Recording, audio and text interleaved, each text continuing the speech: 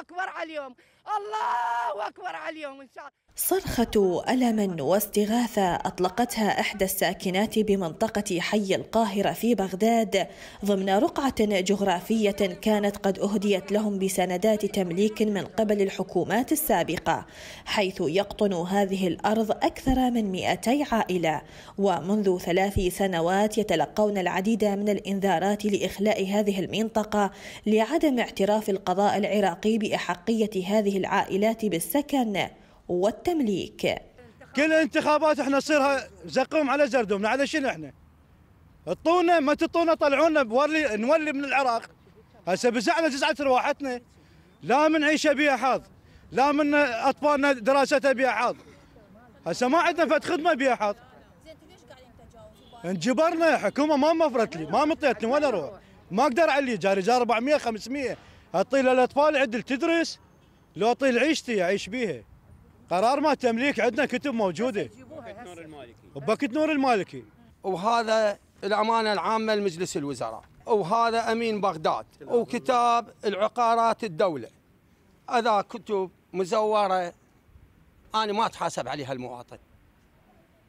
وإذا دعايات انتخابية وأخذوها فإحنا مواطنين ضحية. إحنا وين حقنا بالدستور؟ هسه إحنا أكثر من 250 عائلة هنا. مصيرنا وين؟ من أمام مبنى مجلس القضاء الأعلى تقف النساء والبعض من سكان المنطقة لطلب عدم حرمانهم من السكن هناك لعدم وجود أماكن بديلة تأويهم بعد أن فقدوا الأمل بإيجاد فرص عمل يعيلون بها أنفسهم لدفع مبالغ الإيجار ومطالب المعيشة مناشدين الحكومة بالتدخل لتخليصهم مما يتعرضون له من تعنيف اجتماعي. حسب وصفهم. فأنا ناشد الشريف الكاظمي اللي على حالنا. أقول له وين أودي بناتي؟ أنا عندي أربع بنات وعندي اثنين ولد. واحد استشهد بالمظاهرات انقتل وظل عندي أربع بنات. وين أطلع بهن؟ أذبهم بالشارع؟ وين أذب عرضهم؟ أذبهم بالشارع ما عندهم ضمير ما عندهم رحمة. ما نشاهده من تجاوز سكاني على بعض الأراضي. ما هو إلا نتاج المتغيرات الاقتصادية التي أثرت على دخل الفرد نتيجة انعدام فرص العمل لآلاف العراقيين.